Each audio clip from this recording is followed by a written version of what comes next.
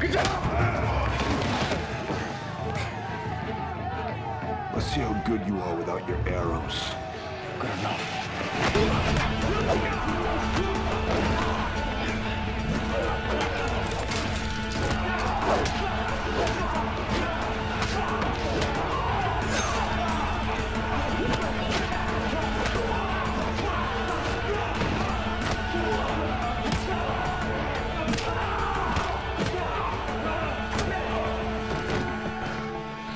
Just remember, that was without arrows.